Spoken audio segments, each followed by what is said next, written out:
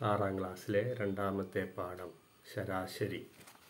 അതിൽ ഇരുപത്തി രണ്ടാമത്തെ പേജിലെ ഒന്നാമത്തെയും രണ്ടാമത്തെയും കണക്കുകളാണ് മൂന്നാമത്തെയും കണക്കുകളാണ് ഈ വീഡിയോയിലൂടെ വിശദീകരിക്കുന്നത്. ഒന്നാമത്തെ ചോദ്യം. ഇവിടെ എന്താണ് ഒന്നാമത്തെ ചോദ്യം?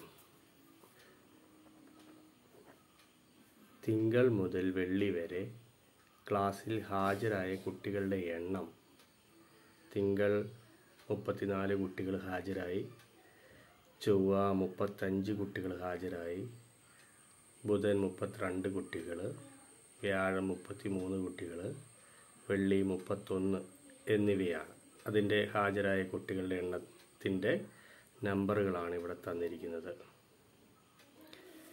ഓരോ ദിവസവും ശരാശരി എത്ര കുട്ടികൾ ക്ലാസ്സിൽ വന്നു? ഓരോ ദിവസവുമായി ശരാശരി എത്ര കുട്ടികൾ ക്ലാസ്സിൽ വന്നു എന്നുള്ളതാണ് നമ്മൾ കണ്ടുപിടിക്കേണ്ടത്. അപ്പോൾ ശരാശരി ആ ആഴ്ചയിൽ വന്ന കുട്ടികളുടെ എണ്ണം നമ്മൾ എങ്ങനെ കണ്ടുപിടിക്കണം? ശരാശരിയിൽ കണ്ടുപിടിക്കണം. അപ്പോൾ ശരാശരി എന്ന് പറഞ്ഞു കഴിഞ്ഞാൽ എന്താണ് അതിന്റെ സമവാക്യം? ശരാശരി നമ്മൾ എങ്ങനെയാണ് കണ്ടുപിടിക്കുന്നത്?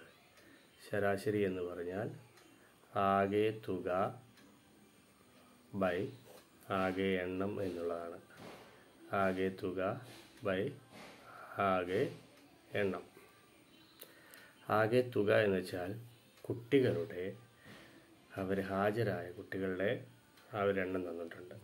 അതിന്റെ തുക കണ്ടുപിടിക്കണം. അതെത്രയൊക്കെയാണ്?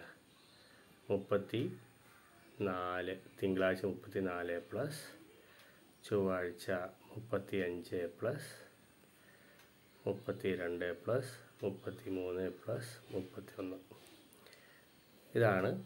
ഇതെല്ലാം കൂടി കൂട്ടിയാൽ ആകെ തുക കിട്ടും. ഇത് എത്ര ദിവസത്തെ സംഖ്യകളാണ്? എത്ര ദിവസത്തെ ഹാജർ നിലയാണ്? ഒന്ന് രണ്ട് മൂന്ന് നാല് അഞ്ച്. അപ്പോൾ ആകെ എണ്ണം എന്ന് പറഞ്ഞാൽ ഇവിടെ അഞ്ചെണ്ണമാണ് അപ്പോൾ അതിനെ അഞ്ച് കൊണ്ട് ഹരിച്ചാൽ മതി. അപ്പോൾ ഇതിന്റെ തുക നമ്മൾ കൂട്ടി നോക്കുക. മുപ്പത്തിനാലും മുപ്പത്തഞ്ചും മുപ്പത്തിരണ്ടും മുപ്പത്തി മൂന്ന് മുപ്പത്തൊന്ന് ഇത് കൂട്ടുകയാണ്. കൂട്ടിക്കഴിഞ്ഞാൽ അഞ്ചും നാല് ഒമ്പത് രണ്ട് പതിനൊന്ന് മൂന്ന് പതിനാല് ഒന്ന് പതിനഞ്ചിന് അഞ്ച് ശിഷ്ടം ഒന്ന് മൂന്ന് ആറ് ഒമ്പത് പന്ത്രണ്ട് പതിനഞ്ച് ഒന്ന് പതിനാറ്. ആകെ തുക നൂറ്റി അറുപത്തി അഞ്ചാണ്. നൂറ്ററുപത്തഞ്ച് ബൈ ഹരിക്കണം അഞ്ച്. നൂറ്ററുപത്തഞ്ചിനെ അഞ്ച് കൊണ്ട് ഹരിച്ച് നോക്കണം. ഇവിടെ ഹരിച്ച് നോക്കാം.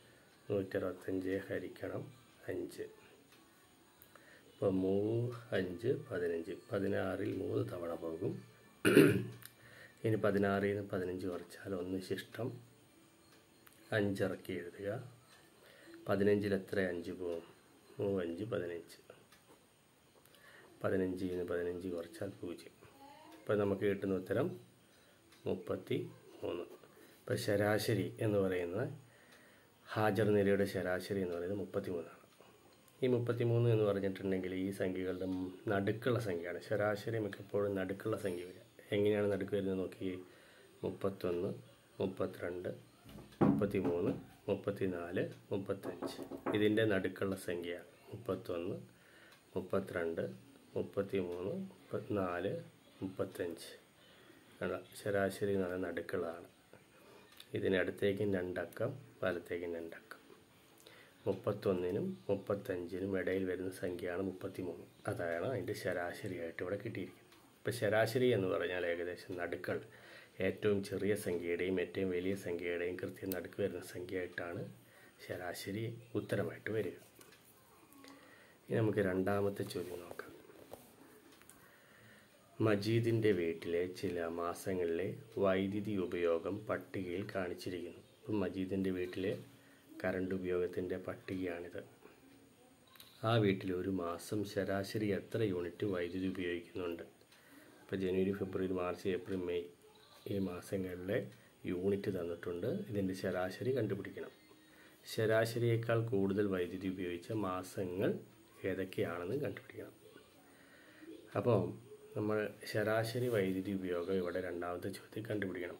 ശരാശരി വൈദ്യുതി ഉപയോഗമാണ് നമ്മളിവിടെ കണ്ടുപിടിക്കേണ്ടത്.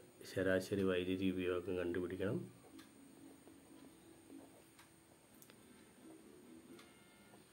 ശരാശരി വൈദ്യുതി ഉപയോഗം എന്ന് പറഞ്ഞാൽ നമുക്കറിയാം ശരാശരി കണ്ടുപിടിക്കേണ്ട സമവാക്യം എന്ന് പറഞ്ഞാൽ ആകെ തുക ബൈ ആകെ എണ്ണം.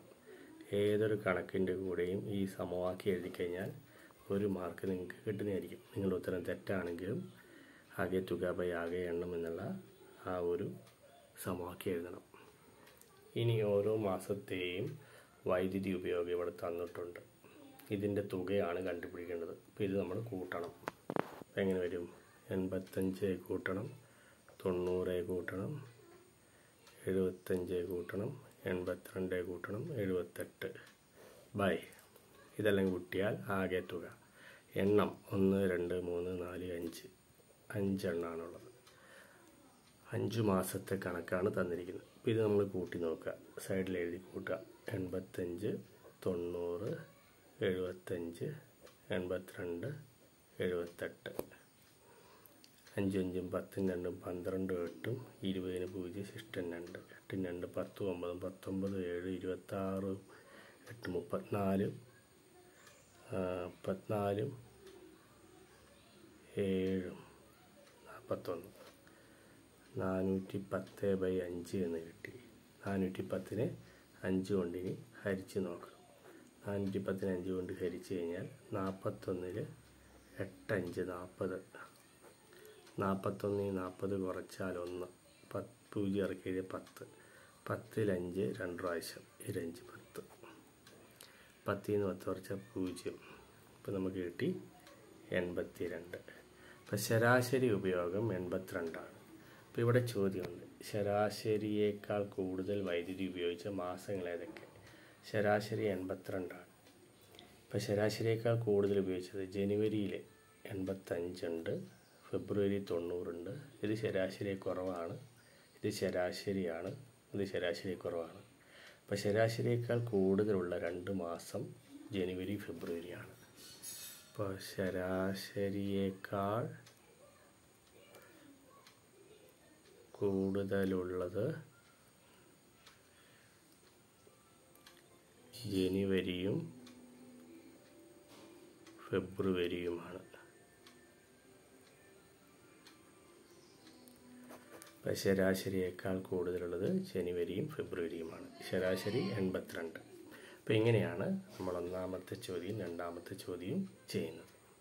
അടുത്ത കണക്കുകൾ നമുക്ക് അടുത്ത വീഡിയോയിൽ കാണാം. Okay thank